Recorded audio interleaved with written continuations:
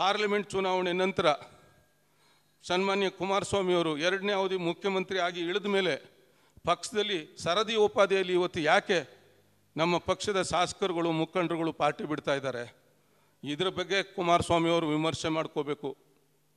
ಇದರಲ್ಲಿ ಏನಿದೆ ನಮ್ಮ ಪಾರ್ಟಿನಲ್ಲಿ? ದ್ವೋ, ಇವತ್ತು ದೋಷ? ಯಾಕೆ ಇವರೆಲ್ಲರೂ ಸರಣೋಪಾದಿಯಲ್ಲಿ ಪಾರ್ಟಿ ಬಿಡ್ತಾ ಇದ್ದಾರೆ? ಈ ಪಕ್ಷವನ್ನು ಕಟ್ಟಬೇಕು, ಉಳಿಸ್ಬೇಕು ಅಂತಕ್ಕಂಥವ್ರು ಆತ್ಮವಿಮರ್ಶೆ ಮಾಡ್ಕೋಬೇಕು, ಚರ್ಚೆ ಆಗಬೇಕು ಪಾರ್ಟಿ ಒಳಗಡೆ. ಅದಕ್ಕೆ ಆಸ್ಪದ ಇಲ್ಲ ಇಲ್ಲಿ. ಓದೋರೆಲ್ಲ ಹೋಗಿ, ಒಂದು ಪಕ್ಷದ ನಾಯಕನಾಗಿ ಓದೋರೆಲ್ಲ ಹೋಗಿ, ನಮ್ಮ ಪಕ್ಷದಿಂದಲೇ ಬೆಳೆದವರು ಇವರೆಲ್ಲ ನಮ್ಮ ಪಕ್ಷದಲ್ಲೇ ತಿಂದು ಉಂಡು ಹೋದವರು ಹೋಗಿ ಅಂತ ಯಾವ ಬಾಯಿನಿಂದ ನೀವು ಹೇಳ್ತೀರಿ? ಈ ಪಕ್ಷಕ್ಕೋಸ್ಕರ ಮೂರು ಸಾರಿ, ನಾಲ್ಕು ಸಾರಿ ಸಾಲ ಸೋಲ ಮಾಡಿಕೊಂಡು ಚುನಾವಣೆಯಲ್ಲಿ ಗೆದ್ದು ಬಂದು ಶಾಸಕರಾದಂಥವ್ರು ಇವತ್ತು ಪಕ್ಷ ತೊರಿತಾ ಇದ್ದಾರಲ್ಲ? ಏನಿರ್ಬೋದು ಅಂತಕ್ಕಂಥದ್ರ ಬಗ್ಗೆ ಒಂದು ವಿಮರ್ಶೆ ಇಲ್ಲ. ಪಕ್ಷದೊಳಗಡೆ ಒಂದು ಚರ್ಚೆ ಇಲ್ಲ. ಮತ್ತೊಂದು ಹೇಳಿಕೆ ಕೊಟ್ಟಿದ್ದಾರೆ. ನಮ್ಮ ಪಾರ್ಟಿ ಬಿಟ್ಟೋದವರು ಪುಟ್ಪಾತು ಅಂತ. ಬೀದಿ ಪಾಲ್ ಅವರು. ಇಪ್ಪತ್ತು ವರ್ಷ ಆಯಿತು ಬಿ ಎಲ್ ಶಂಕರ್ ಅವರು ಪಾರ್ಟಿ ಬಿಟ್ಟೋಗಿ ಅವ್ರು ಏನೂ ಆಗೋಕ್ಕಾಗಲಿಲ್ಲ ಅಂತ. ಬಿ ಎಲ್ ಶಂಕರ್ ಅವ್ರ ಬಗ್ಗೆ ಮಾತಾಡೋ ಯೋಗ್ಯತೆ ಕುಮಾರಸ್ವಾಮಿ ಅವ್ರಿಗಿಲ್ಲ. ಬಿ ಎಲ್ ಶಂಕರ್ ಅವರು ಪಾರ್ಟಿ ಬಿಟ್ಟು ಹೋದರೂ ಕೂಡ ಅವರು ಭಾಳ ಸಜ್ಜನ ರಾಜಕಾರಣಿ, ಸರಳ ರಾಜಕಾರಣಿ, ಶಿಸ್ತಿನ ಬದುಕಿನರ್ತ ಇರ್ತಕ್ಕಂಥವ್ರು.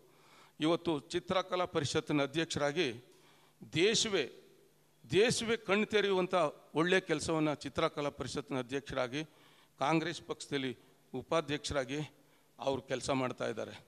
ಅವ್ರ ಬಗ್ಗೆ ಮಾತನಾಡೋ ಯೋಗ್ಯತೆ ಕುಮಾರಸ್ವಾಮಿ ಅವ್ರಿಗಿಲ್ಲ. ನಾವೆಲ್ಲ ಪಾರ್ಟಿ ಬಿಟ್ಟವ್ರೆಲ್ಲ ಬೀದಿ ಪಾಲಾಗಿದ್ದಾರಂತೆ. ಹೌದು, ಪಾರ್ಟಿ ಬಿಟ್ಟಿದ್ದವರೆಲ್ಲ ಗುಡಿಸ್ನಲ್ಲಿ ವಾಸ ಮಾಡ್ತಾರೆ.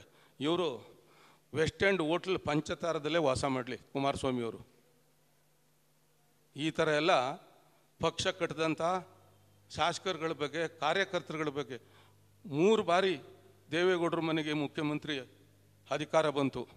ಒಂದು ಅವಧಿನಲ್ಲೂ ಕೂಡ ಯಾವುದೇ ಒಬ್ಬ ಕಾರ್ಯಕರ್ತರಿಗೆ ಒಂದು ನಿಗಮ, ಮಂಡಳಿ, ಮತ್ತೊಂದು ಜಿಲ್ಲಾ ಮಟ್ಟದ ಸಮಿತಿಗಳೆಲ್ಲ ಒಬ್ಬ ಕಾರ್ಯಕರ್ತರನ್ನು ಕೂಡ ಕೂರಿಸಲಿಲ್ಲ.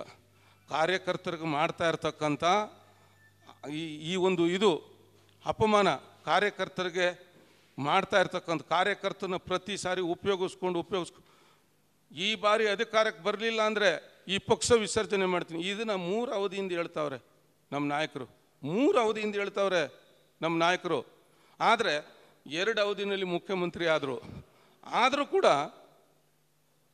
ನಮ್ಮ ಪಕ್ಷ ಸ್ವತಂತ್ರವಾಗಿ ಈ ರಾಜ್ಯದಲ್ಲಿ ಅಧಿಕಾರಕ್ಕೆ ಬರುವಂಥ ಕಾರ್ಯಕ್ರಮಗಳನ್ನೇ ಹಾಕಲಿಲ್ಲ.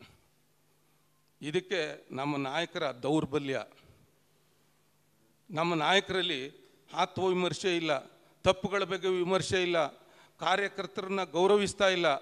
ಇದನ್ನು ನಾನು ಶ್ರೀಮಾನ್ ದೇವೇಗೌಡರಿಗೆ ಅನೇಕ ಬಾರಿ ನಾನು ಹೇಳಿದ್ದೀನಿ. ಶ್ರೀಮಾನ್ ಕುಮಾರಸ್ವಾಮಿಯವರು ಮಾಡ್ತಾ ಇರ್ತಕ್ಕಂಥ ಲೋಪದೋಷಗಳು ಹೇಳಿಕೆಗಳು ಇದ್ರ ಬಗ್ಗೆ ಅನೇಕ ಬಾರಿ ಶ್ರೀಮಾನ್ ದೇವೇಗೌಡರಿಗೆ ನಾನು ನೇರ ನೇರವಾಗಿ ಹೇಳಿದ್ದೀನಿ. ಇವುಗಳನ್ನು ತಿದ್ದುಕೊಳ್ಳದೆ ಹೋದರೆ ನಮ್ಮ ಪಕ್ಷಕ್ಕೆ ಭವಿಷ್ಯ ಇಲ್ಲ ಅಂತಕ್ಕಂಥದ್ದನ್ನು ಇಂಥವ್ರಿಗೆ ನನ್ನ ಬಗ್ಗೆ ನಾನು ದಿ ಜಯರಾಮ್ ಅಂತ ಒಬ್ಬ ಕಾರ್ಯಕರ್ತರಿಗೆ ಈ ಕ್ಷೇತ್ರಕ್ಕೆ ಸಂಬಂಧ ಇರ್ತಕ್ಕಂಥವ್ರಿಗೆ ನೀವು ಟಿಕೆಟ್ ಕೊಡದೆ ಹೋಗ್ಬಿಟ್ರಿ. ಹಣದ ಪ್ರಸ್ತಾಪ ಮಾಡಿಕೊಂಡು ದುಡಿಮೆ ಮರ್ತ್ರಿ. ಹಣ ಹಣ ಅಂತ ಹೇಳ್ಕೊಂಡಿದ್ದೆ. ರಾಮು ಹತ್ರ ಹಣ ಅದೇ ಅಂತ ನೀವು ಟಿಕೆಟ್ ಕೊಟ್ರಲ್ಲ ಅಂತಕ್ಕಂಥ ನೋವಿನಿಂದ ಒಂದು ಮಾತು ಹೇಳಿದರೆ ನನ್ನ ಬಗ್ಗೆ ಇಷ್ಟೆಲ್ಲ ಪ್ರಲಾಪ ಮಾಡ್ತಾರೆ. ದಯಮಾಡಿ ಇದಕ್ಕೆಲ್ಲ ಶ್ರೀಮಾನ್ ಕುಮಾರಸ್ವಾಮಿ ಅವರು ಉತ್ತರ ಮಾಡಲಿ. ನಾನು ಬಹಿರಂಗ ಚರ್ಚೆನೇ ಆಗಲಿ, ನಾನು ಸಿದ್ಧ ಇದ್ದೇನೆ. ನಾನು ಏನು ಈ ಪಕ್ಷಕ್ಕೆ ದುಡ್ದಿದ್ದೇನೆ, ಮಾಡಿದ್ದಾನೆ ಅಂತಕ್ಕಂಥದ್ದು ನನ್ನ ಸಮಕಾಲೀನ ನಮ್ಮ ಪಕ್ಷದ ಕಾರ್ಯಕರ್ತರಿಗೆ, ಮುಖಂಡರಿಗೆ, ಶಾಸಕರಿಗೆ ಎಲ್ಲರಿಗೂ ಗೊತ್ತು.